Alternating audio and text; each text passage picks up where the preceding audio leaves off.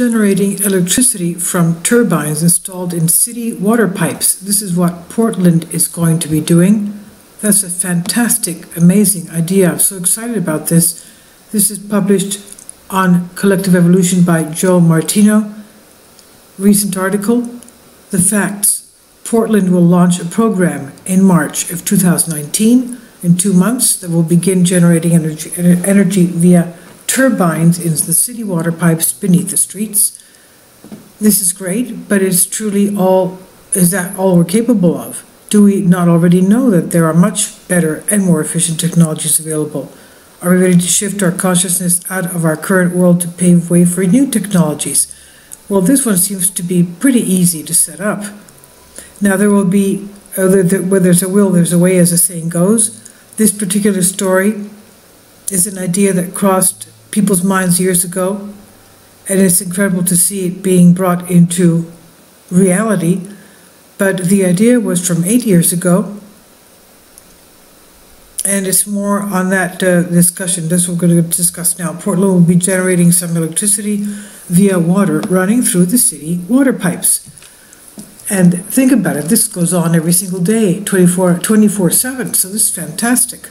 All the water that runs through those pipes to do the already daily task of washing, showering, drinking, cleaning everything, growing will now help to also generate electricity. After partnering with a company called Lucid Energy, the city will begin to generate clean electricity from the water flowing under its streets. Up to now, Portland has begun replacing a section of its existing water supply network with Lucid Energy's specially designed pipes that contain 440 2-inch turbines. Each pipe contains four turbines, as you can see in the uh, diagrams here below. As water flows through the pipes, the turbines spin and provide power to attached generators. Those, generator, uh, those generators feed the energy into the city's existing electrical grid. The project is known as the Conduit 3 Hydroelectric Project is scheduled to be fully up and running in March of this year. Unlike the wind and solar, this solution does not rely on the weather, making it a more stable, reliable energy solution. And how much is the output? The current project will be able to power 150 homes over the course of the year. Keep in mind this project is only being rolled out in a section of the city. Some limitations exist though as well. Turbines will only work in pipes where water flows downhill. This is so water always uh, does not have to be pumped as the energy is necessary. Pump, the, pumping the water would negate the energy generated from the turbines, but there are pluses.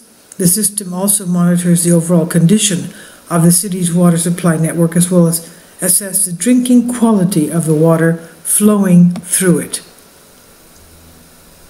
So while this idea is great and a step in the right direction, some deeper thought helps realize how our current system and structure do not easily allow for all our solutions to our challenges to be implemented, as everything we create has to fit within the confines of industry, creating jobs and limiting disruption. This is the result of a system that at its core is built on debt-based banking.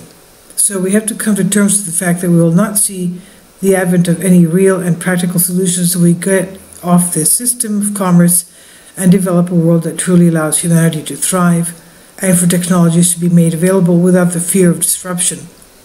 That's because we truly are limited to the primitive form, primitive forms of exchange we see being used today. Now, um, it's, uh, we're researching working funding, allowing for future technologies, and uh, it could revolutionize the way we provide energy to the society, they say. Wind, solar, and even the idea this idea are primitive jokes compared to what many have witnessed in labs. So why are these advanced technologies hidden? And uh, bringing to mind, of course, a lot of the Tesla inventions that are being hidden as well. I'll leave a link below for you for this is on collective evolution.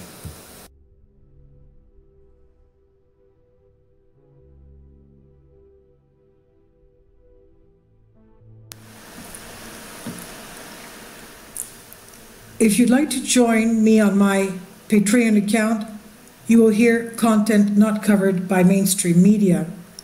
These riveting stories will be based on my research, and I will state my opinions and give my personal insight on diverse and controversial subjects and world events, events not covered by mainstream media, and not certainly on, not supported by YouTube guidelines.